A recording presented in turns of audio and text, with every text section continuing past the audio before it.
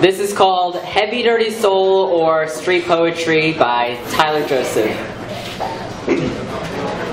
There's an infestation in my mind's imagination. I hope I choke on smoke because I'm smoking them out the basement. This is not rap, this is not hip hop. Just another attempt to make the voices stop. Rapping to prove nothing, just writing to say something because I wasn't the only one who wasn't rushing to saying nothing. This doesn't mean I've lost my dream, just right now I've got a really crazy mind to clean, you know what I mean?